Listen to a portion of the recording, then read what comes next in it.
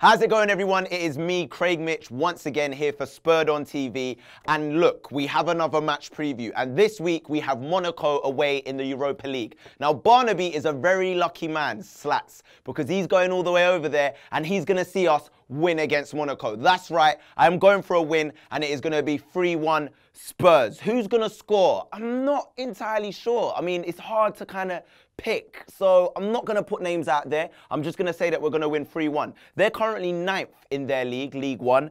Um, on top of that, they've lost some key players during the transfer window, most notably Anthony Martial. So I don't think they're going to be as dangerous as they could have been. All right, let's, now let's move on to the starting 11. So in goal, we're going to have Lloris. Whoop, whoop. It's the sounds of. He knows Monaco very well. He played in the league, uh, French league for a while, so he's going to be very aware of them. Uh, we're going into defence. We're going to have Trippier at right back with Toby Alderweireld, Kevin Wimmer, and I'm going for Davies. I keep saying this every week. I want Davies to play in the Europa, and I want Rose to play in the Premier League, and Poch always does it the other way around. Maybe this week he will change it and listen to me. Um, back of the midfield, kind of deep. We're going to have Carroll and Dier. Dier's just got to play every game. If we want to win, he needs to play there. He's completely up for it. He's an absolute beast, so I want him in the midfield for this game. On the right, we're going to have Townsend. In the hole, Dele Alli, we're going to push him a bit more forward. He likes to, you know, play that attacking role. He likes to grab a goal. On the left, Chadli, because he's been dropped. And up front, I want Harry Kane to start. Son started in our last Europa League game.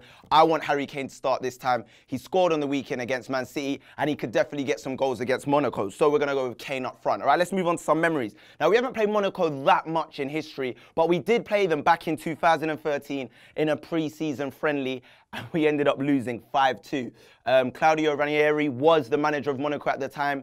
We had AVB. That's probably the reason we lost 5-2. Let's just all put it down to AVB. We'll chalk it off to him. On top of that, there's been players that have played both for Monaco and Spurs over the years. The likes of Glenn Hoddle, uh, Dimitar Berbatov, Jurgen Klinsmann, and unfortunately, Emmanuel Adebayor. But anyway, guys, this has been the match preview. Let me know in the comments below what you think the score will be and if you think we'll win. Also, subscribe to the channel and make sure you follow us on Twitter at TV. Hi guys, it's Barnaby here for Spurred On. I'm with Craig Mitch, of course I am. How are yes, you, Craig? I'm good. How are you? Very good. This is episode one of Spurverts this week. And what more is there to be spurverted about than Tottenham Hotspur 4, yes. Manchester City 1? Yes. You were